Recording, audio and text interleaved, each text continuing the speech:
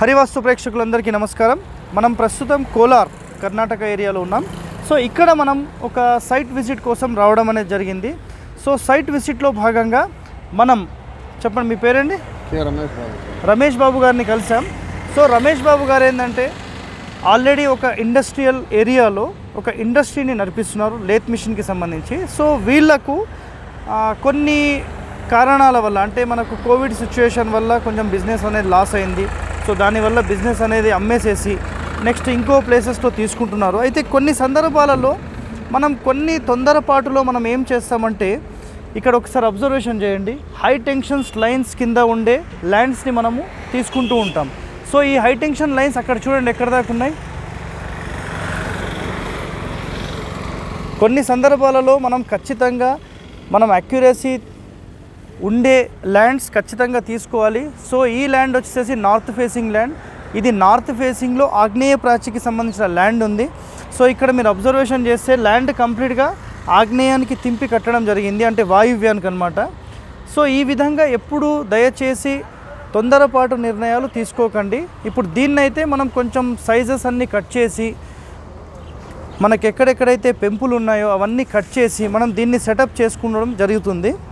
So చిన్న bit అయినా పర్వాలేదండి. మనకు యాజ్ పర్ వాస్తు ప్రకారం మాకు కావాలి అనేది వాళ్ళ కాన్సెప్ట్ అనమాట సో వాళ్ళ అభిరుచి మేరకు మనము దీన్ని టూ పార్ట్స్గా డివైడ్ చేసి ఎల్ బెండ్లో ఉందన్నమాట.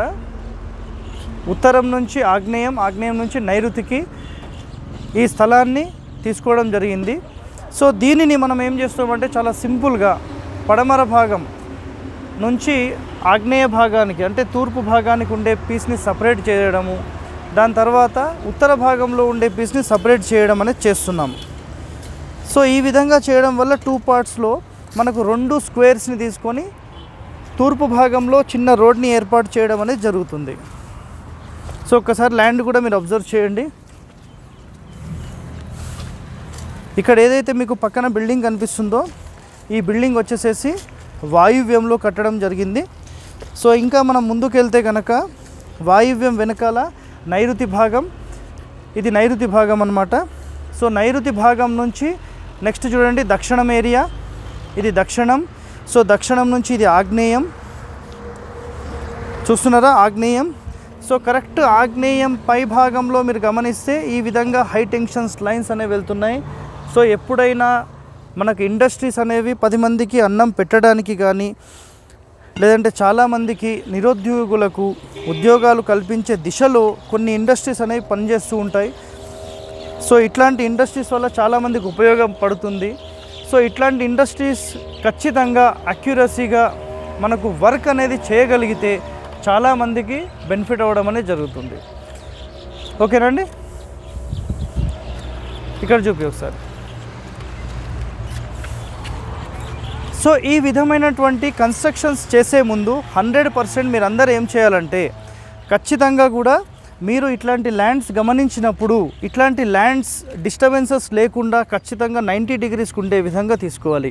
హండ్రెడ్ పర్సెంట్ ఎనర్జీస్ రావాలన్నప్పుడు నైంటీ డిగ్రీస్ ప్లాట్స్ అనేవి మీకు ఫిఫ్టీ పర్సెంట్ ఎనర్జీ ఈ యూనివర్సల్ ఎనర్జీ ఏదైతే మన గ్రావిటేషనల్ ఫోర్స్ ఉంటుందో ఆ ఫోర్స్ కంప్లీట్గా మన బిల్డింగ్లోకి ప్రవేశించి మన బిల్డింగ్ని శక్తివంతంగా చేస్తుంది. అర్థమైందండి సో ఇప్పటి నుంచి ఎవరైనా సరే ఏదైనా ప్లాట్స్ తీసుకుంటా అన్నప్పుడు ఖచ్చితంగా సరౌండింగ్స్ మొత్తం అబ్జర్వేషన్ చేయండి. థ్యాంక్ యూ అండి.